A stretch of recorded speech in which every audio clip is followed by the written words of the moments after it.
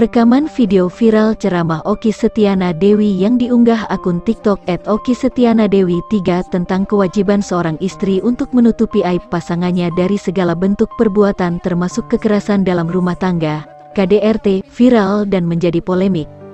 Warganet menilai pesan dakwah yang disampaikan dalam video tersebut menjadi bias dan seakan mentolelir kekerasan. Wakil Gubernur Jawa Barat, UU Ruzanul Ulum pun ikut membahas di akun Instagramnya @ruzanul, KDRT bukan aib yang harus disembunyikan. Pak UU pun memberikan caption Islam adalah agama kasih sayang, dan posisi perempuan di dalam Islam sangat dihormati dan ditinggikan. Saya yakin Teh Oki juga sangat menentang KDRT. Semoga menjadi pengingat kita untuk selalu belajar dan senantiasa memperbaiki diri. Semoga Allah selalu memberikan kita hidayah. Amin ya rabbal alamin, tulisnya di akun YouTube Oki Setiana Dewi. Oki pun mengupload ceramah lengkapnya. Assalamualaikum warahmatullahi wabarakatuh sahabat semua. Hari ini saya mendapatkan pesan dari beberapa teman mengenai potongan ceramah saya dua tahun lalu. Di atas inilah videonya versi lebih panjang. Terima kasih atas perhatian dan kasih sayangnya.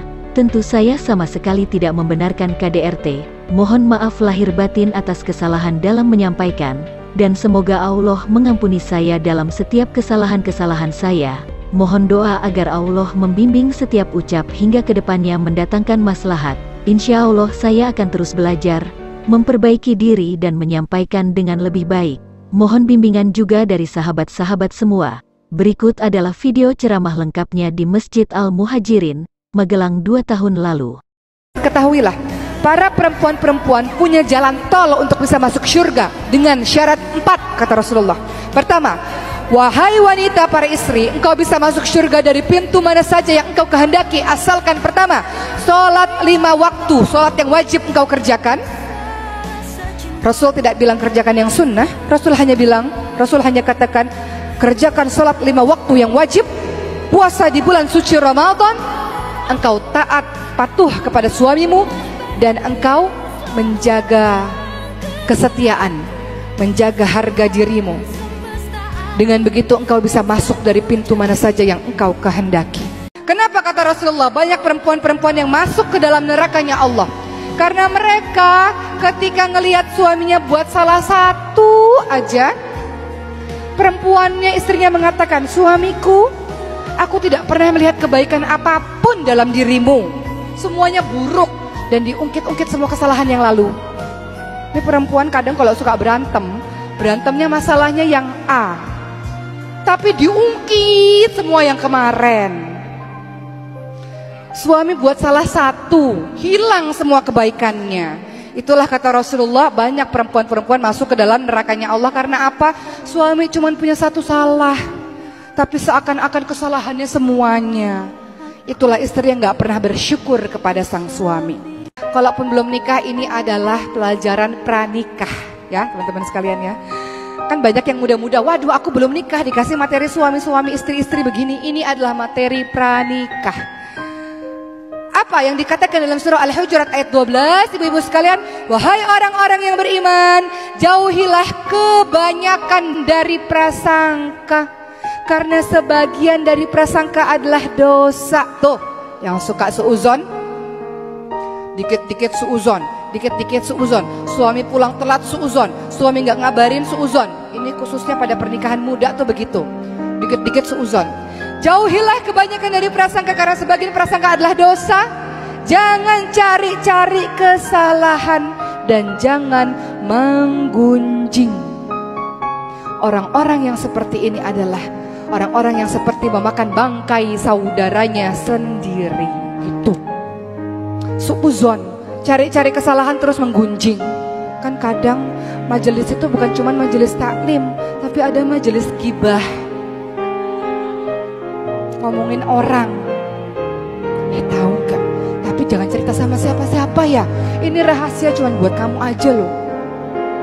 Ceritalah, terutama cerita tentang suami sendiri. Suamiku tuh itu ya Allah, kok bisa ya saya dapat suami kayak gitu? Tapi kamu jangan cerita sama siapa-siapa ya. Aku tuh cuma cerita sama kamu. Nanti temennya yang ini cerita sama temen yang lainnya. Eh kamu jangan cerita sama siapa-siapa ya. Ini amanah nggak boleh diceritain. Kamu tahu nggak suaminya si itu? Nanti orang yang ini cerita lagi ke sana satu kampung tahu urusan rumah tangga gara-gara mulut istri nggak dijaga.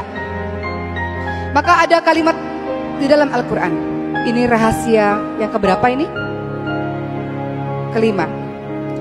Jaga aib.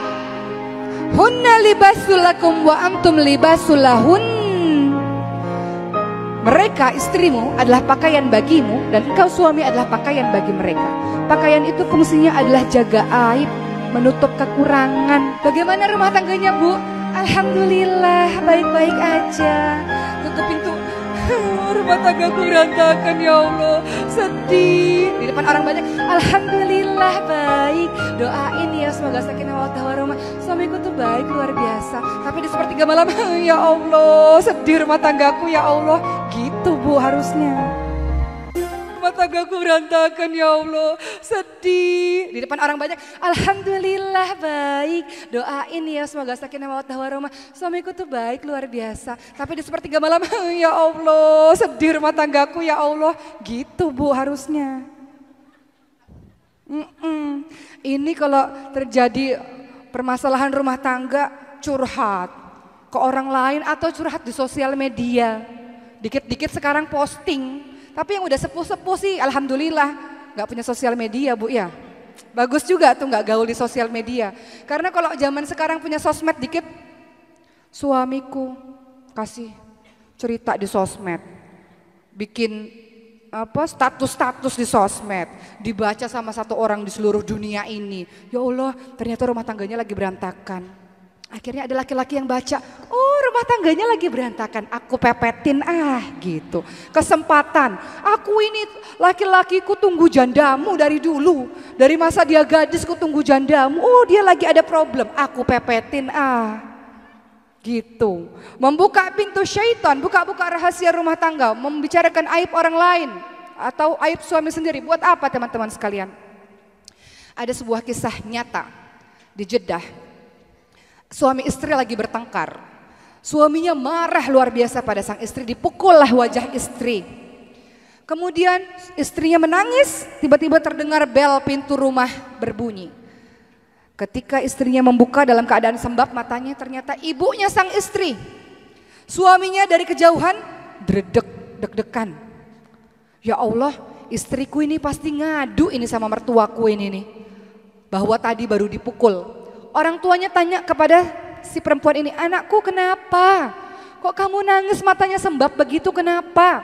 Istrinya mengatakan, ibu, ayah ya Allah, aku tuh tadi berdoa sama Allah. Aku rindu sama ibu, sama ayah udah lama gak ketemu. Aku tuh nangis karena aku rindu sama ibu, sama ayah. Eh taunya Allah langsung menjawab doaku, aku semakin terharu. Jadi aku nangis tuh aku rindu sama ibu, sama bapak. Bahagia bisa ketemu sama ibu, sama bapak. Suaminya dari kejauhan, ya Allah nih istri. Padahal bisa loh istrinya ngadu sama orang tuanya itu.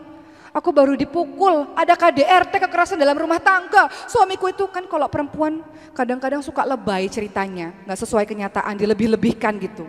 Orang kalau lagi marah, lagi sakit hati kan ceritanya suka dilebih-lebihkan biasanya. Tapi sang istri mengatakan, ya Allah Pak Bu aku tuh nangis karena aku rindu sama bapak sama ibu. Suaminya luluh hatinya istriku itu Masya Allah menyimpan aibku sendiri ya Allah luar biasa. Makin sayang dan cintalah suami tersebut. Makanya kadang kalau kita berantem suami istri khususnya bagi pernikahan-pernikahan muda. Dikit-dikit ngadu sama orang tua. Orang tuanya udah kesel. Eh kita udah buat anak lagi sama suami kita. Ya? Udah baik lagi sama suami kita. Orang tuanya masih sebel kitanya udah harmonis lagi sama suami kita. Jadi nggak perlulah cerita-cerita yang sekiranya membuat kita menjelek-jelekkan uh, pasangan kita sendiri. Karena kata Allahunna libasulakum wa antum libasulahun. Nabi Ibrahim alaihissalam gimana kisahnya? Menghadapi menantu yang mulutnya luar biasa, gak bisa dijaga. Nabi Ibrahim datang ke rumah anaknya Nabi Ismail alaihissalam. Nabi Ismail sedang pergi. Dan si perempuan ini gak tahu bahwa itu adalah mertuanya, bahwa itu adalah Nabi Ibrahim. Sang Nabi Ibrahim bertanya, wahai perempuan, anak perempuan, bagaimana keadaan rumah tanggamu dengan Ismail? Maka sang istri mengatakan, rumah tanggaku buruk, aku miskin, aku susah, suamiku nggak baik. Dan semua keluhan lainnya.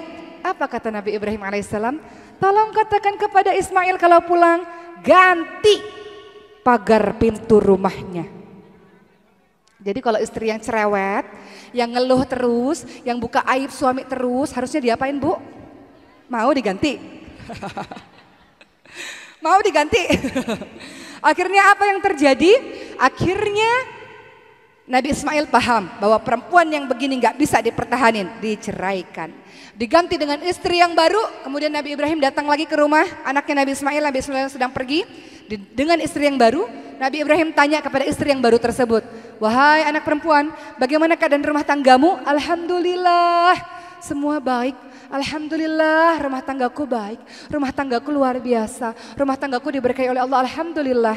Maka apa kata Nabi Ibrahim? Katakan kepada suamimu Ismail, pertahankan pagar pintu rumahmu. Artinya istri yang begini adalah istri-istri yang luar biasa. Pertahankanlah karena dia menjadi istri yang solehah. Jangan lupa like, subscribe, dan share ya.